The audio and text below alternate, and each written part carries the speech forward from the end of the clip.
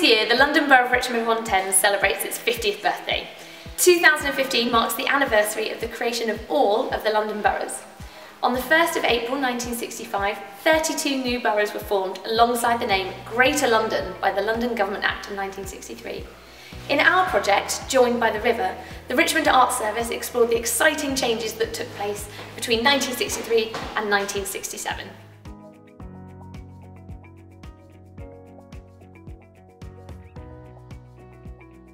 Richmond upon Thames is the only London borough to be joined by the river. In April 1965, the municipal boroughs of Barnes, Richmond and Twickenham were formally joined to create the London Borough of Richmond upon Thames.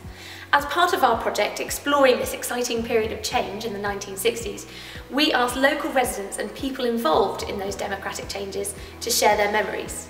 We conducted oral history interviews with people throughout the borough about the period.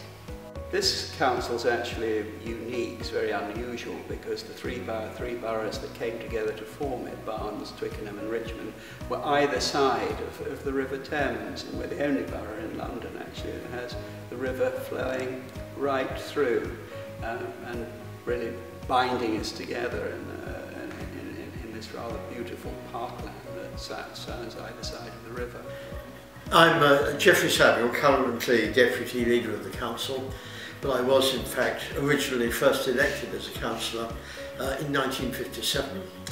So by the time of the formation of what I still think of as the new borough, um, I was already an experienced councillor and therefore was uh, lucky enough to be deeply involved in the establishment of the new borough. And I would say that for all the years that I've been in local government, it was far and away the most uh, exciting time Imagine that you're starting with an absolutely blank sheet of paper and from the very beginning could build up and establish the, the council in, in the way that we wanted and of course that led on to the appointment of all the chief officers. It really was certainly the most exciting time of my civic life. A really wide range of people involved in this project, from local community who are involved in researching the exhibition to young people who are involved in setting up the exhibition and doing a fantastic education programme. Um, we also had a fantastic range of oral history volunteers that kind of described all of their stories. Our first child was born in 1963. Our searches gradually spread westward across South London, so a move to a house with a garden became a priority and we finally settled on Barnes. I had slight knowledge of Barnes from boat race days with picnics on Barnes Common. There were the lovely parks, of course, and the nurseries were still in existence. I used to go up there to buy my cucumber and tomatoes. There was some talk of the new borough being named the Thames Valley. The creation of a new borough also meant that a new coat of arms, motto, and mayoral chain had to be designed. It was incredibly successful, so over 12,000 people were involved in the exhibition, either viewing the exhibition or involved in the education and community programme. And special thanks goes to our wonderful volunteers that made this all possible through their research.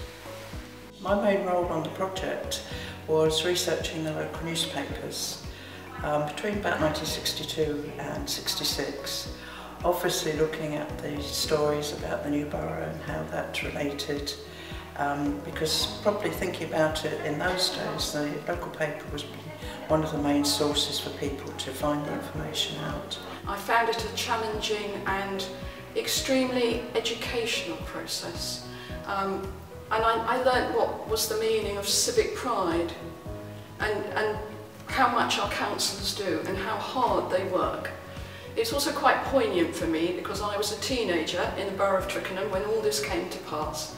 I, I really have enjoyed working on the project. The other thing that I think I've been so impressed by is the immense uh, commitment and attachment that people have had. Thousands of people have come forward with their oral memories of the way that the borough has developed and changed over these 50 years. And it's also been incredibly humbling to meet actually some of the people who were there at the beginning. They're actually still members of this authority who were active in local politics 50 years ago. And we had the immense privilege of having one of the first mayoresses, mayors consorts of this borough who lent so generously to uh, this very popular exhibition. It did bring back, it was a, a bit of a sentimental journey when looking at the photographs and going into the exhibition. And the most amazing thing was walking into Orleans Gallery, House Gallery, and suddenly plonk on a, a model, there is my dress. And it was lovely because I went on a sentimental journey looking at it all. It was rather nice.